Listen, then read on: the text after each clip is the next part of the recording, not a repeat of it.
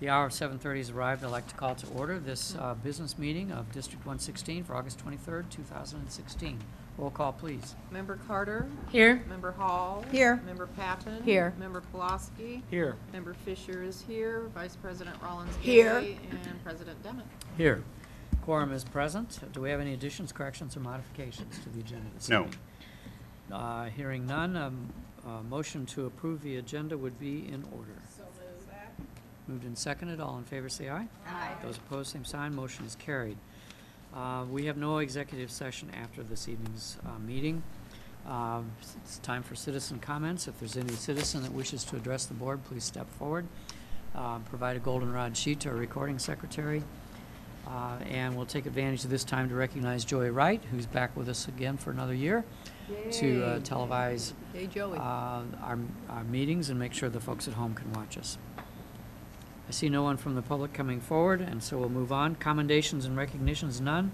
Public hearing, no. Communications, no. We do have a reports committee, reports, not a committee. Uh, uh, And our first report is on the facilities committee charge. Yeah, so I took uh, comments from the last time we discussed this, um, and I wanted to put it back in front of you right away because, uh, as I said, we have a goal to get this started in September. And so I want to have one more time to discuss the charge, and then uh, I'm going to ask you to approve the charge um, at September, and I'm going to start advertising for members for this committee as soon as we get the charge approved. So basically, a couple things that I did. um, one of the discussions that we had was making sure that uh, the concept of infrastructure and, and specifically technology infrastructure was included in this comprehensive plan, and so I just added that um, word in the, um, I guess, third sentence, as I'm counting. The plan should address capital and infrastructure needs of all USD 116 programs and buildings. Um, and then um, we had some discussion about the specific questions in addition to providing a comprehensive long-term plan. Uh, And so the, the questions as, as they stand now, I think, capture the majority of the discussion. So um, what is the best use of space north of Urbana High School bounded by Iowa, Race, Washington, and Broadway? And what are options or solutions for the relocation of central office and adult education building? And then is Urbana served, well-served by the number and location of our elementary schools? And if not, what are possible solutions? So I'm opening it up for discussion. I will continue to take notes. Okay, Paul? So I was thinking about this over the weekend, and I was wondering if we should also add to the third question, size. Fourth? Fourth Well- bullet point? To the third question. The third bullet point Oh, in Oh, there by the is, Number, is, comma, size. right, because I, I think the question of whether or not we should have two strands elementary schools or three strand elementary schools should be considered by this committee.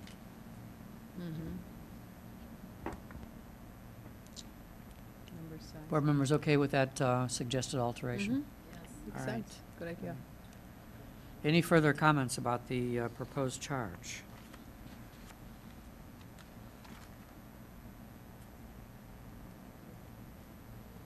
Okay, this would be on our next uh, agenda, uh, which would be the meeting right after Labor Day for action, Okay. which would be the 6th? 6th. Okay. All right, Thank you. Thank you. all right, ready to go. Okay. Good. Mhm. Next on our agenda are, uh, is our consent uh, agenda for our action items. And on this evening's consent agenda are the minutes of the uh, June 21st, uh, July business meeting, the special meeting on July 25th, and the study session on August the 9th. We have June bills and checks, uh, education fund in the amount of 442,000, O&M in the amount of 113,000, bond and interest fund in the amount of uh, 999,000, Transportation in the amount of 181,000. Working cash bonds, $33.20 to be exact. School facilities occupation tax, 23,000. Uh, Tort in the amount of 11,000 and payroll in the amount of 3.6 million. Also, July bills and checks, um, and, and that payroll is a little extra large because it constitutes the end of the year. July bills and checks, education fund bills in the amount of seven hundred and seventy-two thousand, O and M in the amount of four hundred and five thousand, transportation thirty-three thousand, uh, capital project working cash bonds twenty-one thousand, uh, our sales tax in the amount of uh, 546,000, tort, 255,000, life safety, uh, one 1,000, and payroll, uh, are more reasonable, 2.5 million, and adult education for both June and July in the amount of 132,000. No interfund loans tonight. There are various personnel items. A lot of it is uh, just uh, cleaning up the end of school year uh, departures and the new hires. Re- And then 1105 is resolution authorizing and directing sale or disposal of personal property. Uh, And that is the consent agenda. Is there a, is there any desire to remove any of those items? Is there a motion to approve? Move approval of the consent agenda. Second? Moved and seconded, roll call, please. Member Carter? Yes. Member Hall? Yes. Member Patton? Yes. Member Pulaski? Yes. Member Fisher votes yes. Vice President Rollins Gay and President Dimit. Yes, motion is carried. For individual action items, we have gifts tonight. The Elementary, Elementary Fine Arts Trust Fund uh, received an anonymous donation of uh, just under fifteen hundred dollars uh, to fund two art projects, uh, Opera for the Young and Storytelling Through Public Art. Minji Kim of Champaign donated two hundred and fifty dollars to adult ed. Uh, Gene Burkholder, who is now uh, residing in Bloomington, it looks like, donated seven hundred and fifty dollars to the Adult Education CNA program. Deb Getting of Red Cross in Urbana donated school supplies and backpacks worth 200, and Dave Wishart and Josephine Wilson of Yellow Springs, Iowa donated five hundred dollars Ohio. to the, what'd I say, Yellow Springs? Iowa. Uh, yeah, I'm sorry, Ohio, Yellow Springs, Ohio, donated five hundred dollars to the Josh Gottheil Music Award Fund uh, in memory of uh, Josh's father, Fred. Um, Motion to approve, to accept and uh, the gifts and send thank you notes. So moved. Second. Moved and seconded, all in favor say aye. Aye. Those opposed, same sign. Motion is carried. Twelve point oh two, resolution authorizing and directing the sale of, public sale of certain property, and this is with our old Washington School at eleven oh two North Broadway. Um, Don? Yeah, I, I just want to mention that this is uh, something that we have had out for sale before. We had no responsive bids at that time. Um, The administrative team has had discussions with uh, both parties who put in non-responsive bids as well as parties who did not put in bids to find out why it did not um, receive bids. And we tried to address many of those issues. And the, and the biggest issue seemed to be the time frame that was in our previous resolution. And that was a 90-day um, closing date uh, after the uh, bid opening. And so what we've done is we've recrafted this, um, this uh, resolution and, um, and sale documents to indicate that there's more flexibility in that. Um, There's possibilities for an individual to essentially uh, go out up to a year and possibly even longer if necessary, um, as long as they're providing some compensation to the district for operating expenses for the building during that time.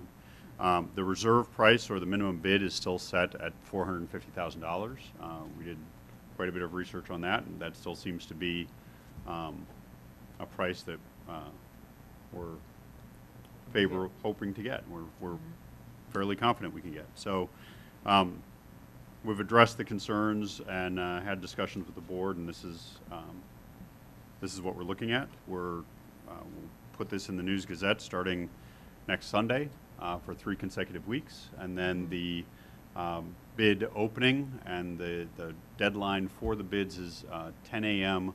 on September 16th. So you will be seeing this back in front of you, hopefully, um, with approval to move forward on the uh, 20th of September at the business meeting. Uh, So this is very similar to the action that we took before, with just the more flexibility in the closing time. Uh, Is there a motion to approve the administrative recommendation? So moved. Moved and seconded. Further discussion?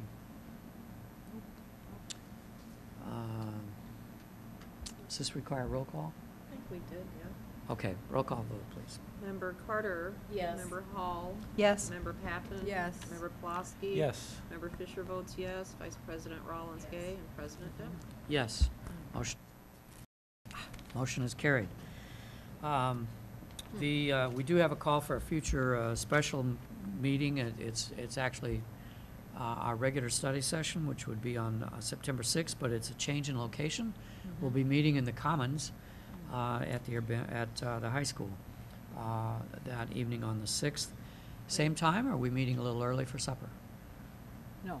Ah, ah, and Well, We'll be serving, maybe we'll be the. um, Are we you- do, Are you we buying, do, John? we do plan to have um, Aramark do a presentation, and they have agreed to provide um, food off their new menus. And so um, we're, we're planning on starting the meeting at 7:30. Uh, well, How about we do this? If, if we're not going to take any um, formal uh, board work, we might have you meet at 7 o'clock. We'll, we'll confirm that with Aramark um, so that eating can take place first, as long as there's no discussion about the, uh, the food or the uh, commons until we actually go into open session. All right. Okay. Can you do that? Okay. I promise. All right. All right, Should so be- we'll, we'll should be a- confirm that, we'll confirm that and uh, make sure that that's, um, Should, should be, should be a good time. Um, I Yeah. need to, Can't wait to I see have, it.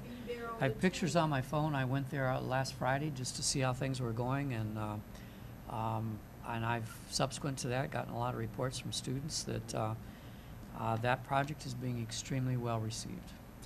Cool. And, uh, Not surprised. So we'll, those of you that still have kids in school, uh, in high school, maybe are getting different No feedback on kidding. the Very- quality of food, but I'm hearing great things, great things about it. I'm hearing good things about both the project and the quality of food. So Yeah. we're, we're looking forward to that meeting um, to show it off, both things. All right, we go into uh, superintendent's report. Yeah, so superintendent's report, um, I have in front of you just a few quick things. First of all, uh, the school year started off uh, with a great opening day uh, celebration. We kicked it off with the marching band, as we, has kind of become a tradition over the last couple of years. And then we uh, closed the morning kind of celebration with uh, VCR, which is the high school a cappella group who performed for you last year. I, I think that that probably also become a tradition with how big a hit it was, um, based on the, uh, the feedback from the day's uh, evaluations. Um, our numbers do appear to be, oh, uh, both the high school and middle school started on Thursday with uh, transition days um, for sixth and ninth graders and their parents, and that went very well. Um, I, I sat in, the high, the high school had their open house um, on Thursday night, uh, very well attended, and the middle school actually had a parent orientation during the school day while the sixth graders were going through their orientation, and that was also very well attended. And so it was, um, it was fun to see both the sixth grade students and their parents in the building on that first day of school. Um, Our numbers do appear to be up, but I'm going to save that for um, the next meeting. Uh, Dr. Ivory Tatum will do the regular six-day enrollment report um, because numbers are fluctuating as we speak. We're getting new people signing up, and um, we, we always like to make sure that we give everyone a few days in before we start talking about real numbers. And so we'll, uh, we'll do that as a, as an administrative report at the next meeting. Um, Open houses and back-to-school nights have been very well attended as well, and um, there are a few more this week and next week. I believe middle school is on Thursday, and Wiley, I think, is next um, Wednesday. It's either Wednesday or Thursday of next week for Wiley. Um, Urbana High School is also holding neighborhood meetings at each of the elementary schools, as well as two community centers. And Mr. Shark's goal there is to talk to parents and families about what UHS offers and how parents can engage with their students' education during high school years. Um, so we're very excited to see um, how that how that initiative at uh, parent engagement works. Uh, next up is the Urbana Sweet Corn Festival is this weekend. That to me, um, as a teacher, always was my favorite event because I get, got to test my ability to name my new students in the class as they said hi to me um, during the Sweet Corn Festival. And, uh, but now it's become my favorite event because at 5 p.m. on Saturday, uh, the high school marching band will be playing along with Central and Centennial um, as part of the, uh, the music to kick off Saturday night. And so uh, please show up for that. You'll also see many of our UHS athletes who are volunteering during the event. I don't know what the color of the volunteer shirts are this year. Usually yellow to, because of corn, but Yeah. Sometimes lime green. sometimes lime green, yep. Yeah. Um, Something bright. So, and there's also uh, lots of other food Yeah. and um, lots of music and of course a lot of corn. So please Mm-hmm. come out for that. Some of our Um, booster clubs actually have booths there, too. Yeah, they, they have in the past. Mm-hmm. I, I don't know if our boosters are going to be um, going to be representing or not. No. Lori's on the uh, Urbana Business Association Oh. board, um, so I think you can speak with authority on that. Um, but but we will have lots of student participation. Um, and then also, uh, sticking with the theme of marching uh, musicians, the Marching Illini will be performing at the first Urbana High School home football game Yeah. on Friday, September 2nd. Uh, that game, the Tigers will be playing Centennial, so it's always a full house anyway. But then when we have uh, about 375 marching Illini joining us, along with their fan base, um, it will be a full and fun night. Um, they will be kicking things off with our marching Tigers, and then they will, the marching Illini will also be performing at halftime. Uh, the one thing I didn't write down, but I will make sure goes in my written report that I put out on, uh, on my blog, is that um, one of the drum majors for the marching Illini is uh, Urbana High School graduate Jordy Pecky Rodriguez. And so Oh, it's going to be awesome to have him kind of Uh-huh. coming home to the first home football game, and uh, maybe he will Cool. throw up the U and twirl the. Uh, There's twirl usually, the there's usually several Urbana students in the marching Illini, too. so- There are, and I know that uh, there were a number of freshmen who were trying out. I believe last year we had Hmm. five that I was aware of, um, but uh, Jordy's obviously the one that has uh, is going to be the most visible um, and recognizable. And he's not the first Urbana student that's been uh, drum major. That's right. There's been several. Yep. Roxanne Barnes. Yep. There's been several. Maybe, and Roxanne Barnes has moved back to town, so maybe we can uh, extend her a special invitation to come out. Um, The walk is one event, is the, the last thing on the list here is, um, the Community Coalition and the Champaign-Urbana Cradle to Career are teaming up to conduct a community walk through parts of Urbana and Champaign. The purpose of this walk is to talk to parents of three, four, and five-year-olds about the importance of social emotional development. Uh, the message to parents is that it is vitally important to read, talk, and play every day um, with your child.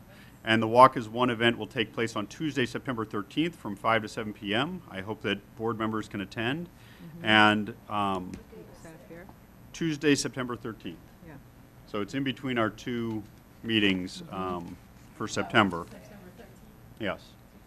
Tuesday, the 13th. And um, the uh, Urbana side of the walk will use Dr. Preston Williams as our starting place and headquarters.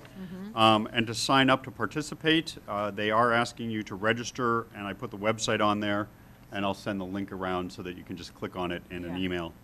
So Uh, they're Yes. going to Garden. Garden Hills. They're going to Garden. Yeah. Hills. So that- It's got it as- because Cradle to Career is kind of leading this, uh, leading this effort, um, they've asked the school districts to pick, um, to pick two or three neighborhoods to hit in each school district. And because of the high concentration of three, four, and five-year-olds uh, in and around the Dr. Williams neighborhood, um, that's, that's going to be our headquarters. And so we will have enough volunteers to hit several neighborhoods there. Are we have? I remember walking there before and there really wasn't a lot of kids, there was a lot of senior citizens. We have a lot, we, we are actually only going to be going to houses that have three, four, and five-year-olds. Oh, okay. Are we So- looking Prairie Green too? I do not know, are we? Rainbow, Rainbow, uh, Yeah. Rainbow, Rainbow, Rainbow. Yeah, There's a lot of three, four. yeah, yep. And then our, uh, just a reminder to everyone is that um, if you miss our meetings live or on UPTV, you can always catch them on our YouTube channel. Um, And uh, they're getting lots of hits. And that's it for my superintendent's report. Uh, Lori, do you want to talk about the FOIAs there? We're, we're doing the FOIAs a little differently. You want me to talk about the FOIAs? Okay. Um, so we're, we're, uh, instead of just listing the number of FOIAs, um, we are putting the, uh, the FOIA requester and as well as we, the board's been asking about what the FOIAs are about. So, um, we're just putting that on our, uh, on our agendas. Um, First FOIA was from Chris Baird, uh, completed 7/12/16. It's all contracts between the school district and the owner of 110 West Iowa, Urbana, Illinois. Uh, The next one was Labor's Local 703, completed on 7/27/16. It's a list of all projects awarded to Illinois Concrete Raising. And then One Chance Illinois, which was completed seventeenth, two thousand sixteen. Any and all information about acceleration policies and procedures. And that's it.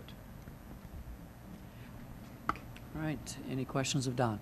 Could- Could I ask you about, I mean, it's not in your report, I was- thought it might be, but about, you know, our ambitious um, aim to hire seven PE teachers in a short period of time, how, how that went?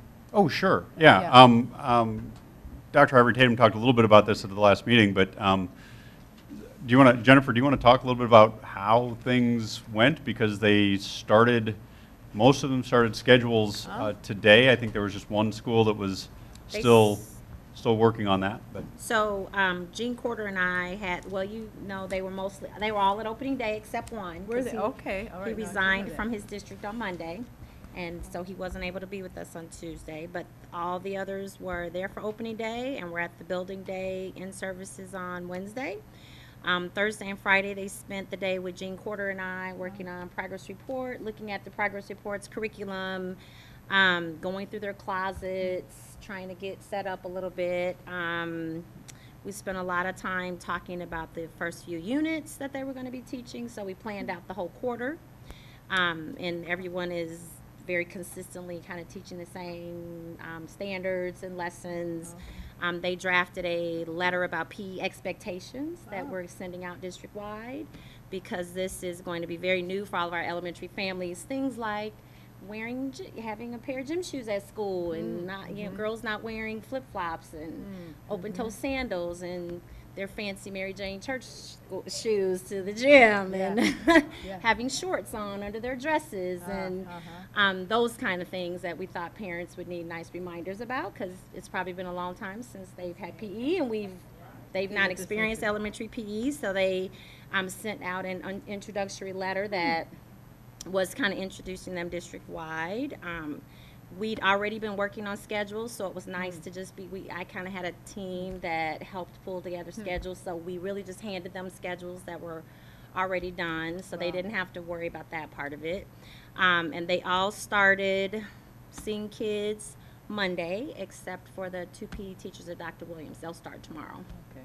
Wow, it's impressive. In less than a month's time, we've hired seven quality, you know. Seven high quality. Their names are on the. Per, they're listed in the Oh, personnel as okay. Yeah. well. All right, yes. I So you looked can at that. see who they are. Okay, were they identified as, a- okay. I Yes, did yes, glance yes, at that, yes. somemeho I didn't make a connection, all right. Yeah, uh, so- none of them are former graduates. No, none of Correct. them are former Urbana. Okay. Lot- uh, We Excellent. have a very well repres- represented by the military. Four of the six Really? are from different branches of the military, so. Yeah, that was exciting. So we have new people to help us plan those Veteran Day assemblies in the buildings. I've teased all of them about that, and they're excited. Huh, okay. All right, any board Thank you. reports this evening? Thank you. I'm just curious how the Gridiron Day went. I see Mr. Starks is here. Uh, Was that a good turnout, or Yeah, did you Gridiron- attend, Don? Yes, I did. Uh, Gridiron was, uh, was a very good turnout, actually, and it was a very nice night. It was a gorgeous night for, for football, and um, the, the teams um, had a good time. The, the varsity looked very strong, and the JV, I talked to a couple of the students afterwards, uh, the student athletes afterwards, and they were a little disappointed in their performance on the JV side. Um, and, and they all said, these are the things that we have to work on. So I thought that was a really good attitude that they came off the field saying, this is what we're going to learn. Um, But the, uh, uh, the varsity looked really good. Their first, um, first game They is have a this. Very challenging. Yeah, they have a first two. very, very challenging schedule. Um, Their first game is actually away at Normal Community this Friday. Um, And then, again, their home, first home game is on the second uh, against Centennial. So um, it'll, it'll be, it'll be a good time. Thank you. Mhm. Uh, Maybe, um, maybe this would be a good time then to bring up the fact that uh, we do have season tickets um, available, and, and honestly, if you buy a season pass, it's cheaper to buy a season pass and get a good seat with a back um, um, on it uh, than it is to pay the individual fee to come in. So I know there's some marching band parents here this evening, and really, I mean, I, marching band parents are there every time now. They may leave right after halftime. But um, they could, they could save themselves a lot of money if they'd uh, purchase the season passes so we could fill up that center section. It would sure be nice. John, I do have something for the board with the IASB. The Illini Division meeting is September 27th, so Yeah. if you wish to attend, please let me know, and I'll get you registered. Okay. I think we're going to. Yep. Other board reports this evening? Motion to adjourn would be in order. So moved. All in favor, I- uh, we've heard the motion in the second. All in favor, say aye. Aye. Those opposed, same sign. Motion's carried. We're adjourned.